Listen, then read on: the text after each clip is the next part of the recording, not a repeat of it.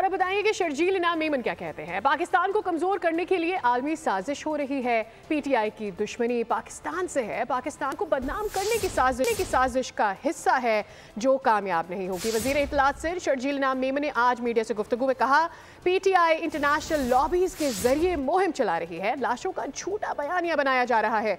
ये चाहते हैं मुल्क में एनआर की फैले। पीटीआई का निशाना या पीटीआई की दुश्मनी जो है, उनका टारगेट उनकी दुश्मनी पाकिस्तान से है। ये जो स्क्रिप्ट लिखा गया है, ये पाकिस्तान को बदनाम करने की एक इंटरनेशनल साजिश का हिस्सा है। इन्होंने अरबों रुपए वो लॉबियस्ट को दिए हुए वो लॉबियस्ट मुख्तलिफ़ ममालिक में बैठ कर पाकिस्तान को टारगेट कर रहे हैं। लाशों के नाम पर झूठ का प्रोपेगेंडा इस तरह करते हैं और वो सारा झूठ का प्रोपेगेंडा ये लोग शुरू करते हैं सोशल मीडिया के ज़रिए। अनफॉर्चुनेटली पीटीआई की लीडरशिप का सिर्फ़ एक ही गोल है, वो है कि मुल्क में अनारकी फैले।